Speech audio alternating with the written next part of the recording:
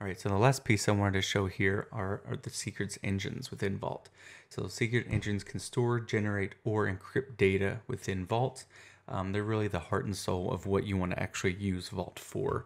Uh, you can have many secrets engines enabled, um, so it just depends on what you need to use Vault for within your environment.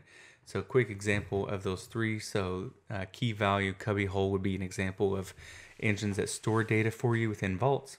Uh, AWS, Azure databases are an example of secrets engines that may generate data. So, for example, Dynamic Secrets and Transit um, and PKI are two examples of insert, uh, secret engines that will encrypt data for you. Um, so, a quick example of uh, of all the secret engines that we have here. So, I mean, there's Active Directory, so kind of create dynamic um, AD accounts on the fly. Same thing for you know AWS, Azure uh, databases. So they support a variety of databases, including like MySQL and SQL Server. Um, know the key value pair, which we demoed earlier. Um, SSH, pretty neat. You can actually um, have have it create an SSH user on a Linux host for you. Um, and then you have you know things like Transit, which I mentioned before, to encrypt data on the fly. So for the demo here, we're going to look at the AWS one. So what we have here, brand new instance of Vault. So we're going to go through and enable the AWS secrets engine. So I'm just going to do it in the GUI. It's pretty easy. So just choose AWS here. Um, we're just going to leave the default path of AWS, um, except for we are going to change the default lease TTL 30 seconds so that we can see um, it being created and deleted within the demo. So we're going to enable that. So the first thing we need to do is create roles. So a role um, will be the the role or the policy that's assigned to the created user within AWS, the IAM user. So what we're gonna do is we're just gonna create one called like manage dev servers. Um, we're gonna leave it as an IAM user. So you can actually point to an existing um, policy that's already created um, or a role.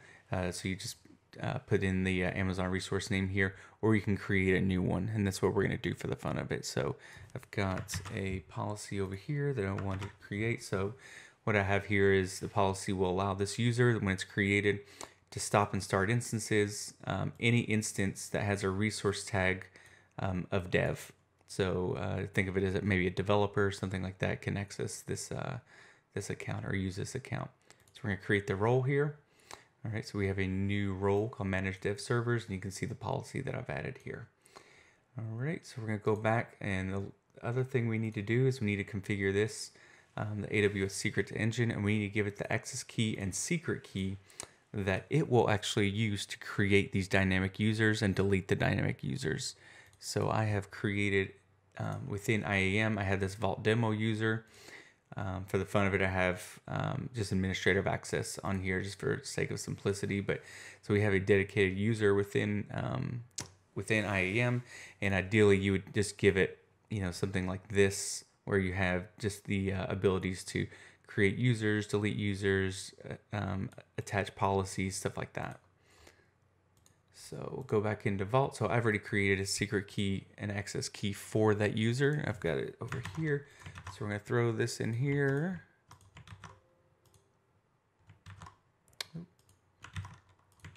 All right, so that gives Vault permission to interact with AWS.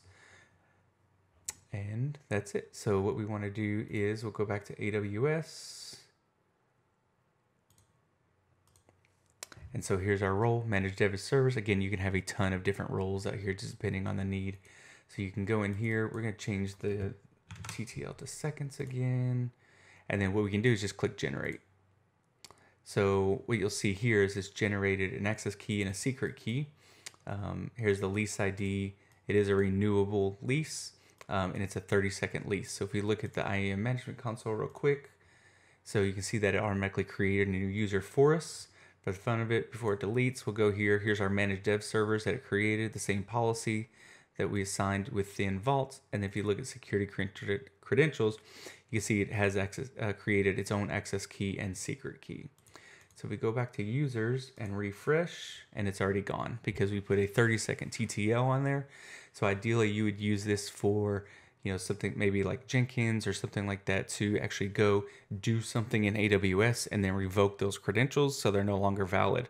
Um, you know, the idea is to get rid of long-lived secrets um, instead of things just lasting forever, and just have access um, for AWS when you need it. So that's about it for the demo. Um, let me know if you have any questions. Thanks.